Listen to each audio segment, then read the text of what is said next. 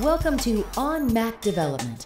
Conversations and tutorials on today's latest technology in Mac software, applications, programming, and development. You can access related resources, recommended reading, special offers, and more when you visit the On Mac Development Resource Center at informit.com slash MacDEV Center. In this lesson, uh, we're going to introduce you to iPhone application development. We'll show you how to create a very simple application uh, using the Xcode development tools and also a tool called Interface Builder.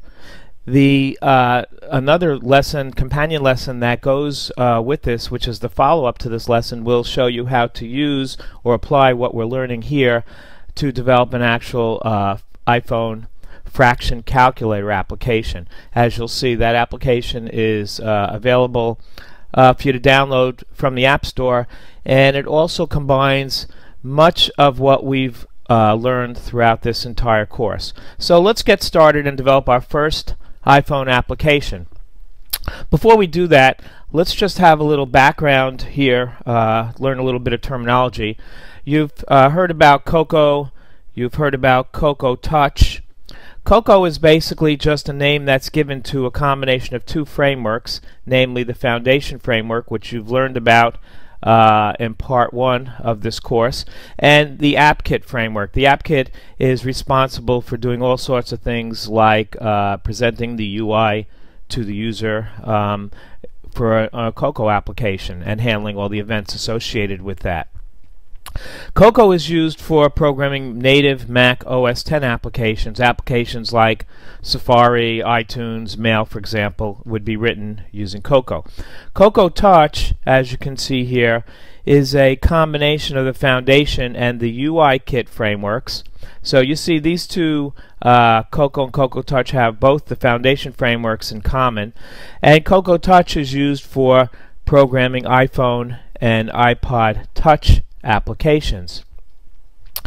This is a very simple um, diagram that shows you the levels uh, or the layers that exist between you, the user, and the actual computer resources that you're using. For example, could be on the iPhone, the iPhone's uh, display, uh, could be uh, its memory uh, on a um, on a um, Mac OS 10 application, native application, it could be the computer's disk, it could be the network, for example, uh, on either types of devices.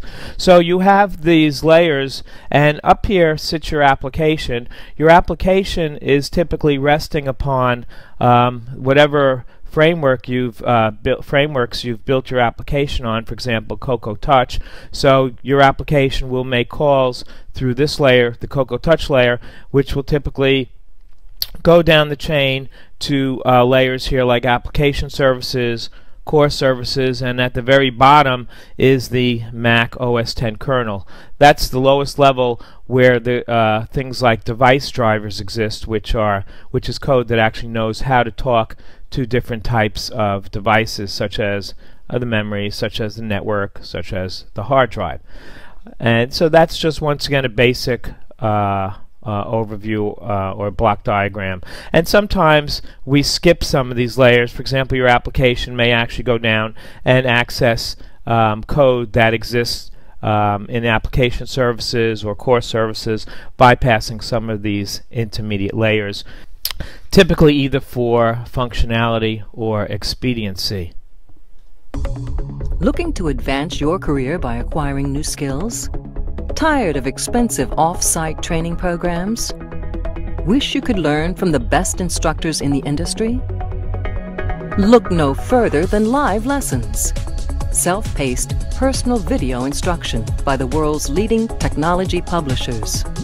Each live lesson comes with a DVD featuring three to four hours of instructor-led classroom training, sample program code that allows you to work along with your personal instructor, and an example-rich study guide. Live lessons allow you to watch the entire course from start to finish or navigate directly to any of the individual lessons. You'll literally watch over the shoulder of your instructor as he shows you how to build state-of-the-art applications. Live lessons, the power of the world's leading technology experts at your fingertips. To learn more, visit mylivelessons.com today.